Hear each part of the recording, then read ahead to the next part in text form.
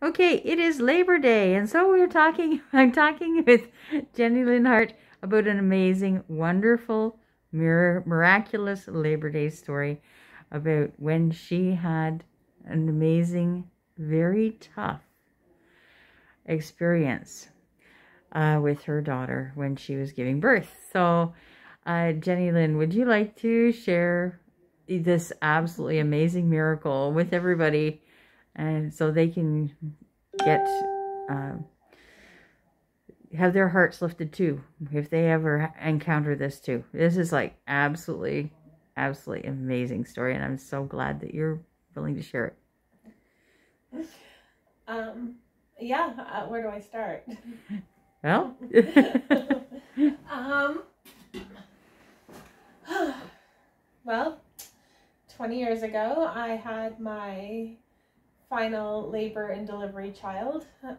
I subsequently adopted two more afterwards, but she was my last um, birth child that I gave birth to. And when I was, hmm, I guess, about 30 weeks pregnant, she stopped moving, and I was concerned, and they told me not to be, but I forced them to investigate why she was not moving as actively as she was and uh, we found out that she had a twisted bowel and that her stomach was larger than her head.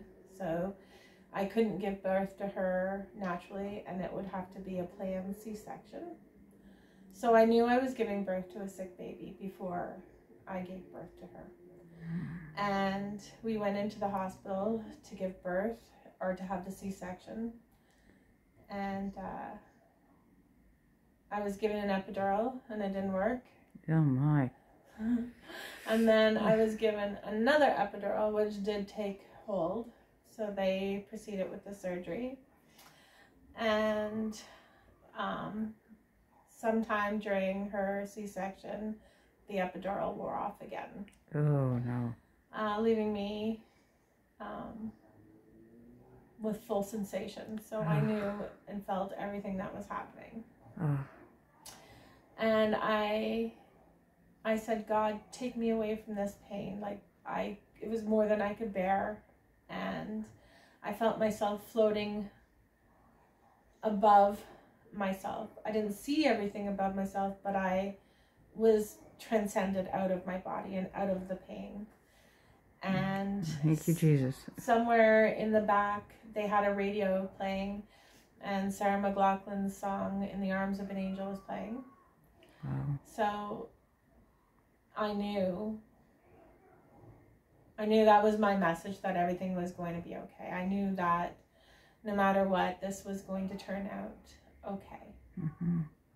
Um, so the surgery over, they whisked her away to sick kids, and there she went into intensive care. And uh, some point later, I went to visit her probably the next day or so. And she was hooked up to wires and tubes and in a little box and she was sick, very, very sick. And they got, they said that the priest had to come in and give her her last rites that she wasn't going to make it. Oh my. Um, they were trying to find the obstruction and they had yet to be able to find it. And she was slipping away every day that we waited. So mm. um, she did pass away, but she did come back. Wow. And I said to God, I said, please don't let this be her story. Don't let this be the last place I see her. I want to hold her. I want to see her grow. I want to see what she does with her life. I, I felt that she had so much to give the world. And that day they found the blockage. Wow. so God is so good. Yeah, and they did the surgery and she healed and she came home and it didn't leave her unscarred though. She suffered uh, massive brain damage due to lack of oxygen. And uh, they said she would never walk, never talk, never feed herself. And I just knew that I wasn't going to accept that as an answer and that that wasn't how her story was going to be. Mm-hmm. Um, yeah, I knew that God had bigger plans for her. Yes. So she walks, talks, feeds herself, and is having my first grandchild. Congratulations. This is a really wonderful circle story and it was such a good, great reason to celebrate.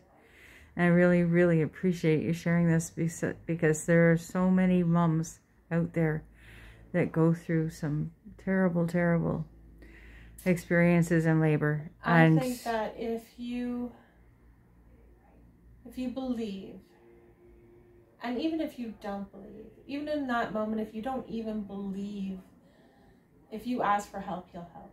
Yeah. Even if you've never believed in your life, if in mm-hmm. that moment you ask for help, he will help. Yeah. He loves us so much. He does. It's, it's, what a wonderful, wonderful miracle. Thank you so much, Thank Jenny you. Lynn Hart. And and uh, Jenny Lynn Hart does beautiful, beautiful art. So please, I'm going to put a link to her Facebook page in the comments below. So please go and take a look at her, her Facebook page. She has beautiful artwork that she does. And um, thank you uh, for tuning in to this YouTube. And uh, God bless you and keep you and his face shine on you and bring you peace. You can find me over on Twitter too, sister underscore SU, not FU. Okay, bye-bye.